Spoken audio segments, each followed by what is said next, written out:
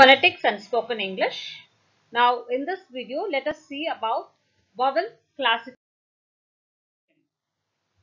Already we have seen that totally 44 phonemes are there and out of that 20 sounds are vowel sounds and uh, in that pure vowel sounds or monophthongs are 12 and the remaining 8 are diphthongs. So in this video let us see about monophthongs. Monophthongs are classified into front vowels, back vowels and central vowels. There are four front vowels E as in feel, E as in fill, E as in set and A as in sat. Back vowels, there are five distinctive back vowels. A as in car, O as in pot, O as in cot, U as in put and Wu as in pool. Central vowels. Central vowels, there are three central vowels and three sounds are also somewhat similar to each other with slight variations. A as in cut and A as in bird and A as in a go. Now, let us see how we are going to classify these vowel sounds or monophthongs. Front, close, front half close, front half open and open. That is, this close, half close, half open and open tells about the height of the tongue. Close means it is closer to the hard palate. Half close means it is little below the hard palate. And half open position will be still lower. Open position, it does not go anywhere towards the hard palate. Okay, and front, central and back that tells about the part of the tongue or the position of the tongue, the front part of the tongue, the center part of the tongue and the back part of the tongue. So on top you see front, central and back. On the sides you see close, half close, half open and open. Sometimes when you browse you will find it as high, mid and low. This high, mid and low is classified according to the American accent. Okay, but as we are dealing with the British accent, we have to classify it as close, half close, half open and open. Okay, so there are three term labels I have told you. Part or position of the tongue, height of the tongue and also the position of the lips, whether it is rounded or it is unrounded. So let us now go on to the front vowels. As I have told you, the front vowels deals only with the front part of the uh, diagram. Okay, so this front part alone we are going to deal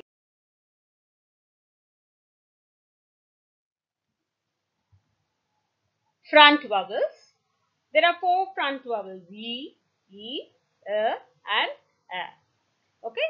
So when we say e what happens is this is a long vowel sound as a colon is placed after the symbol. So this is a long vowel sound and we pronounce the sound. What happens is during the articulation of the vowel, the front part is raised to the direction of the hard palate. That is the tip of the tongue goes towards the hard palate. And when we say E, what happens is the lips are spread. Then as it is a long vowel and then it can also be described as a front, close, unrounded vowel. This is the three term label. Front is the part of the uh, tongue and close it is the height of the tongue and the lip position is unrounded. So this vowel sound E, it occurs initially, medially and finally in a word. For example, eat. In eat it is the initial sound. In meat, it is the medial sound and tea, it is the final sound. So, in these three positions of the word also, the sound E can occur. Now, the short sound E. During the articulation of the sound E, what happens is, the tip of the tongue does not move, but the hinder part, that is the back part of the front position, is raised in the direction of the hard palate, but it does not touch the half palate or it does not go towards the half palate very close. So what happens is the position is between close and half close. It is neither towards half close nor towards close. It is between these two. Okay. And the lips are also loosely spread. Okay. It is a front unrounded vowel between close and half close.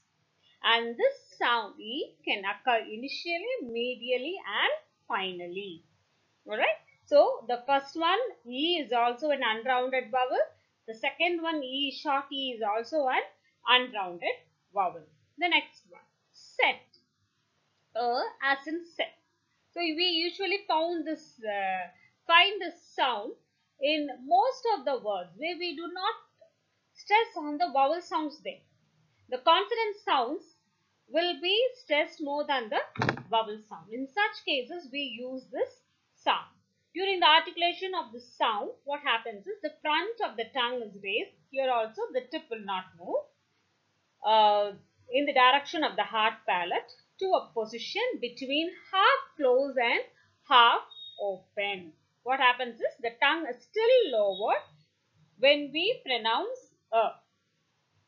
The lips are spread or it is neutral. It is the front unrounded vowel between half closed and half open. In this, what happens is the vowel occurs initially and medially and it does not occur finally because I already told you the consonant sounds are stressed more than the vowel sound and so it does not occur finally. When it occurs finally what happens it becomes only a silent word and that vowel will not be pronounced at all. Okay. The next one is sat. During the articulation of this vowel sound a, the front of the tongue is raised to a position lightly below the half position. The lips are neutral. This is a front unrounded vowel just below the half open position. This vowel also occurs initially and medially. It does not occur finally because the consonant sounds are stressed when this vowel comes. And to memorize this, there is an easy step. I'll tell you 1, 2, 3, 4. The front vowel is in the closed position. The first one E. The second one in the front vowel is in the second position. In one box itself, we have two vowels. Then the third one that is in the second box and the fourth one is in the final box. So when we mark the front vowels, we come from upwards to the bottom one. 1, 2, 3 and 4. So like this you can remember how to mark the front vowels. Now let us go on to the back vowels. Back vowels, back part of the diagram. I have already you from front vowels we are going, we have marked from first to the last. Okay. But in this case what happens is from the bottom to the top. That is how we are going to mark it. So this is a long sound ah. Okay. When this sound is articulated, the back part of the tongue is fully open. That is, it does not go towards the hard palate. The lips come, uh, sorry, the tongue comes down. The lips are neutral. So what happens is this ah is the back open unrounded vowel. When you pronounce ah also, your lips will not be rounded. So it is called as unrounded. So this vowel ah occurs initially, medially and finally as in art, heart, far. The next one as in pot, short ah. The back of the tongue is raised in the direction of the soft palate during articulation and it is in fully open position. That is a little above the uh, long R sound. The lips are rounded. Thus, A can be described as a back open rounded vowel because there is a lot of difference when you say A and A. Okay. So, A occurs initially and medially as in on and in what. It does not occur finally. Or as in caught. This is also a long vowel. You can see the colon placed after A. During articulation, the back of the tongue is raised in the direction of the soft palate to a height between half closed and half open. The lips are rounded. It is a long vowel and A is thus a back rounded vowel between half closed and half open. That is, the tongue will be in the center, neither on top, neither at the bottom. The vowel A occurs initially, medially and finally as in order. In order, it is the first sound. In bot, the sound comes in the middle and in law, it comes finally. Ooh. During articulation, what happens? The back of the tongue is raised in the direction of the soft palate. The soft palate is the roof of the mouth which is somewhere near the throat. When you touch it with your tongue, you will see that the hard palate is hard and the soft palate will be a little softer than the hard palate. Okay. So, what happens is between close and half position, close and half close position. The lips are loosely rounded. U is thus a centralized back rounded vowel between close and half close. The vowel does not occur initially. It occurs medially as in look, then finally as in to and as in do. But when it occurs finally, it will not be a stressed word. It will be an unstressed word. Only when it occurs medially, it will be a stressed word. Long woo sound as in fool. During articulation, the back of the tongue is raised in the direction of the soft palate almost to a close position. That is, towards the entire soft palate. The lips are closely rounded. When you pronounce woo itself, you will understand that your lips are in rounded position. When you say woo and woo, it is in rounded position. Okay, that is also closely rounded.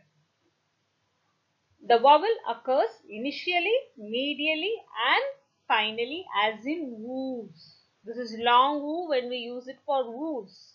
Okay, and then stew, it is in the medial position. So, there are five back vowels and when we are marking the back vowels, we are going to mark it only from bottom position to the top position. So, in the bottom position, you have two vowels. That is the final box between uh, open and half open. That is in fully open position, a little above the open position. And then caught. Uh, that will be between half close and half open. And both the woos come under close and between half close position. So, when you learn something, remember like this so that it will be easy for you to understand and keep it in your memory for a longer time. Now, let us see to central vowels. The central vowels, I have already told you, the center part of the diagram is only used that also between half closed and half open, a little below half open. The fully open position is not at all used for central vowels. So, the first sound is a. During articulation of this sound, the center of the tongue is raised between open and half open. The lips are neutral. Thus, the received pronunciation uh, is thus a central unrounded vowel between open and half open.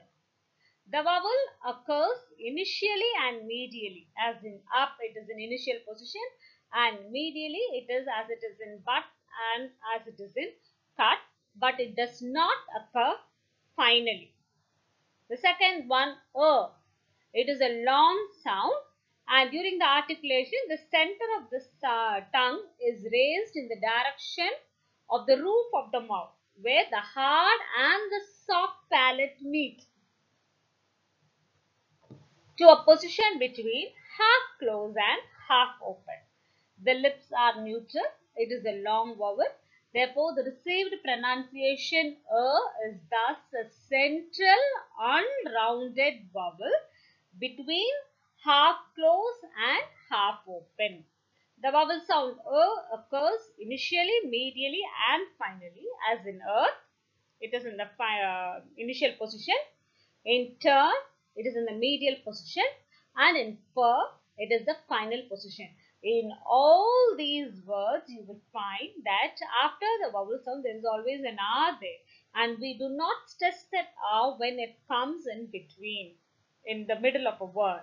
And so, in such cases, we use this long uh, UR, EAR, EAR, okay and then in bird IR. So when it comes with a vowel, when R comes with, an, with another vowel, it is pronounced as, uh, it is a long sound. Now, a go. Uh, this is also another uh, but you have two positions for this uh sound.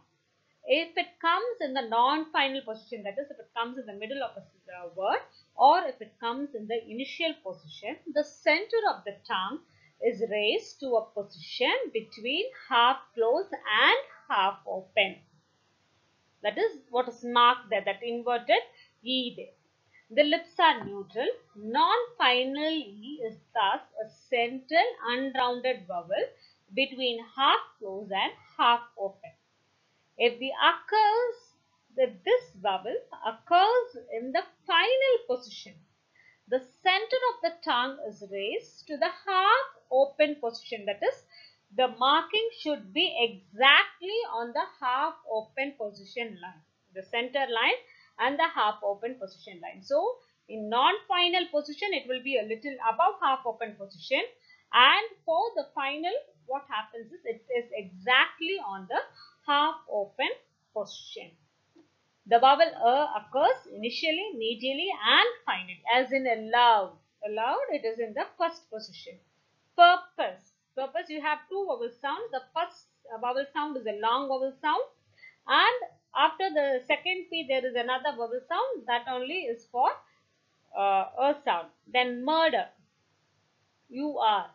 The first U R is for a long a sound and the second one the, or the final uh, one ER that is for a. So, you should uh, understand that for a alone you have two positions. One is between half closed and half open and the other one is exactly in the half open position. now, we have already seen about the lip position, rounded and unrounded. Alright. So, when you say E, that is the first uh, position, I is written on it. That is loosely spread. And this is when we say ka. Ah, here also it is unrounded position. It is not rounded. But whereas when you see u and o, for u it is closely rounded. And this inverted C, this is for the R position. This is open rounded position.